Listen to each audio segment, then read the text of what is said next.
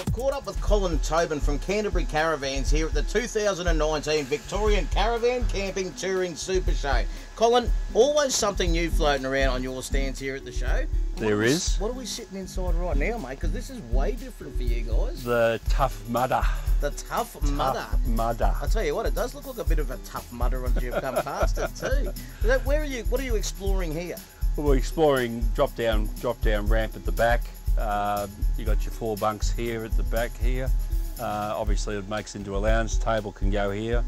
Uh, double bed at the front, ensuite.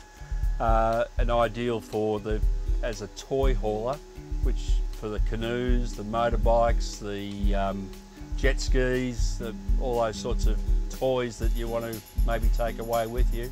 You can tie down in, in the back here as a the back garage of the of a, of a caravan in the front half.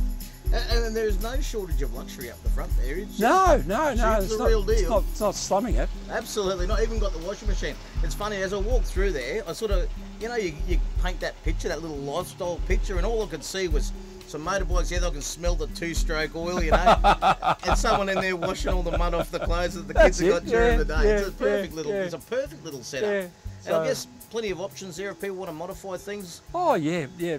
You know, independent power, solar power, um, all those sorts of standard sort of things that people uh, may want. Independent suspension.